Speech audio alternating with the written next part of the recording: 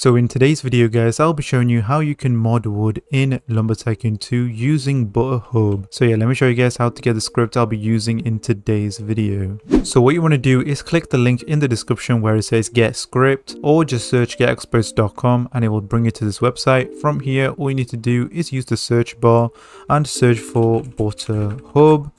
And from here, just press on the script shown and it will take you to the scripts page and from here all you need to do is press the scripts button right here or you can use the execute feature that is on the website. Also if you haven't registered on this website make sure to register make your own account so you can interact on this website and get verified.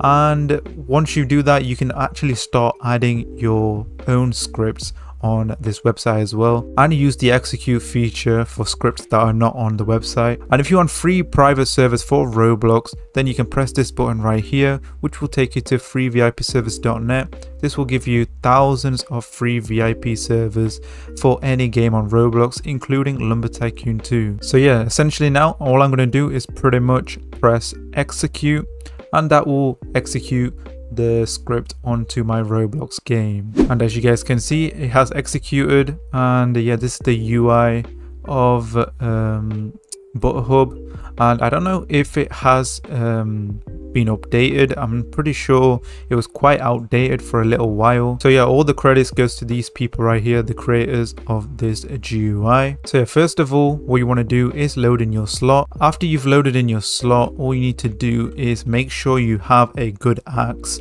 I would suggest the many axe or end times axe or something like that so you make this process go a lot quicker.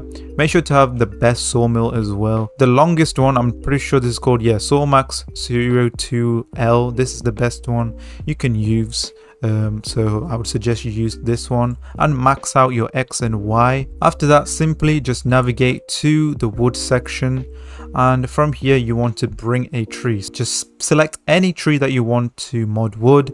I'm just going to go with you know what let's go with snow snow glow i really like how that tree looks and uh, yeah let's just let's just mod that tree and uh, yeah i'm just to bring one and just press bring tree.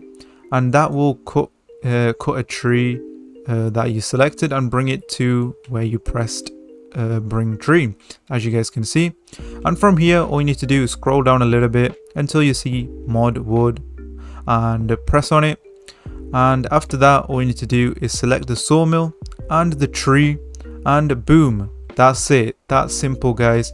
All done for you um, now all you need to do is wait until it's completed. And yeah and it will just carry on doing its process. And once it's completed it will just teleport you back to your base. And you can see the process happening. As you guys can see just did it. And now there we go. The sawmill has sawmilled the modwood uh, piece. And it is making it a modwood piece. So yeah let's just wait until this is complete and yeah essentially guys that's basically it. My this this server that i'm in i didn't join a private server i probably should have. The server that i'm in is very very laggy so this is going to take ages. But essentially this is this is pretty much it. This is all you have to do. And you can do this as much as you want to any tree in the game. There we go it's a lot quicker. I think the person with the laggy base has unloaded. Very nice. But yeah that's essentially it guys. Thank you so much for watching and yeah as you guys can see I can move it around it's a very heavy piece of wood hopefully this was helpful guys if you want any other Lumber Tycoon 2 based content let me know in the comments down below and I will get it done for you guys and yeah that's pretty much it I'll see you in the next one guys Make sure to smash the like button if you enjoyed. Subscribe if you're brand new to the channel with the post notification on. And yeah, I'll see you in the next one, guys. Peace.